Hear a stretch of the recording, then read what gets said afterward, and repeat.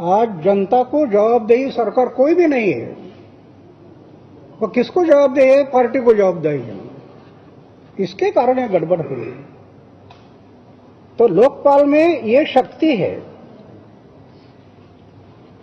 लोकतांत्रिक व्यवस्था ये निर्माण हो, ये लोकपाल का उद्देश्य था। इसलिए हम पीछे पड़े हैं। छह साल से प्राण की बाजी भी लगाया। फिर भी अभी तक वो लोकपाल नहीं आ रहा है। इसमें और एक अभी आपने पढ़ा होगा कि लोकपाल का धारा चवालीस धारा चवालीस क्या कर है? धारा चवालीस इस लोकपाल को कमज़ोर किया। ये सरकार ने भी, पहले सरकार ने तो कमज़ोर किया। इसने और कमज़ोर कर दिया। और कैसे मंजूर किया वो पार्लियामेंट में बोले मंजूर कैसे किया पार्लियामेंट तीन दिन में ना? तो धारा चवालीस में क्या हुआ? जितने भी गवर्नमेंट ऑफिसर है वो ऑफिसर उनकी पत्नी उनके बच्चे उनकी संपत्ति हर साल डिक्लेयर करनी।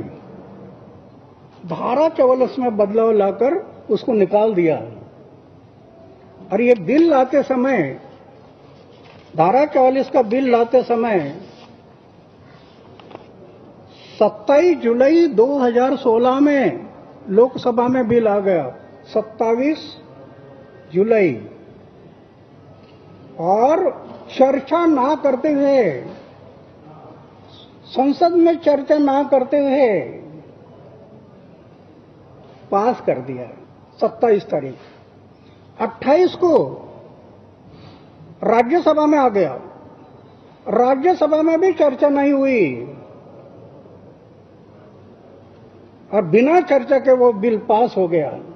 27 को लोकसभा 28 को राज्यसभा और 29 तारीख को राष्ट्रपति के टेबल पर साइन के लिए गया। और एक उन्नीस तारीख को राष्ट्रपति ने साइन किया। तीन दिन में कानून। तीन दिन में। और लोकपाल के लिए पाँच साल बीत गए, कानून नहीं बन रहा तो सरकार अपने फ़ायदे के बारे में सोचती है, जनता के फ़ायदे के नहीं।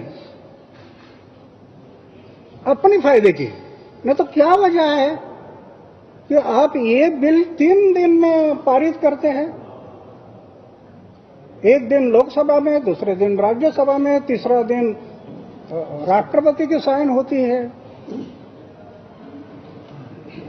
हमारा कहना ये है, जैसा कि लोकपाल है विरोधी पक्ष नेता नहीं है बोल के हम नियुक्त नहीं कर रहे अरे वित्त वित्त विधेयक पास किया ना वित्त विधेयक।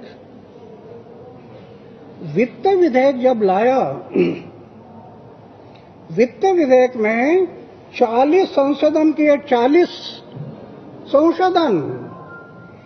और एक संशोधन को अब मैं आपके सामने रखूँगा तो ध्यान में आ जाएगा। एक संशोधन ऐसा है, जितनी कंपनियाँ हैं, कंपनियों को अपना जो फ़ायदा होता है, तीन साल में जो भी फ़ायदा होगा, तीन साल में, उस फ़ायदे के 7.5 परसेंटेज कंपनी को जिसको लगता है उस पार्टी को देना डोनेशन ऐसा प्रावधान था कानून में। इन्होंने क्या किया? हटा दिया। उसको हटा दिया। 7.5 को हटा हटा दिया। और कंपनी ने उनको दिल में जितना आएगा, उतना पैसा किसी जिसको लगता है वो पार्टी को देना। तो कंपनी डोनेशन किसको देती है? जो सत्ता में होते हैं, उनको देते हैं। इसका मतलब जनता की सोच नहीं है। पार्टी को मज़बूत करने की सोच है। इसलिए दुख होता है। क्या इसलिए बलिदान हो गया? अठारह सौ सत्तावन से उन्नीस सौ सैंतालीस तक जो बलिदान हुआ, लाखों लोगों का, क्या इसलिए हुआ? ऐसे बर्ताव के लिए? अरे, जनता की सोच करनी चाहिए। देश की सोच करनी चाहिए। इसलिए मैं ज़्यादा ना कहूँगा। आज मैं इसलिए थोड़ा दो अक्टूबर गांधी जयंती और मेरे जीवन में गांधी जी की प्रेरणा मुझे मिली। आज गांधी जी के प्रेरणा से गांधी जी की सोच जो देश का, वो एक गाँव खड़ा करने का हम कोशिश किया। कितने लोगों ने आना देखने के लिए? 11 साल में 9 लाख लोग आए, उनका रिकॉर्ड है। पाँच लोगों ने पीएचडी किए तो गांधी जी की, मेरे जीवन में गांधी जी और स्वामी विवेकानंद, ये मेरा प्रेरणा स्थान है। इसके कारण 2 अक्टूबर गांधी जयंती है। मैं अभी समाधि पर गया था। ये सब मैं जब सोचने लगा कि आज़ादी के टाइम पर, अरे क्या क्या सहन किया उन्होंने क्या क्या सहन किया। ऑयल निकाले लोग, तेल तेल के कोलू को जुटाते थे कई कैदियों को, अंग्रेज़। और नहीं खींचा तो फटके लगाते थे।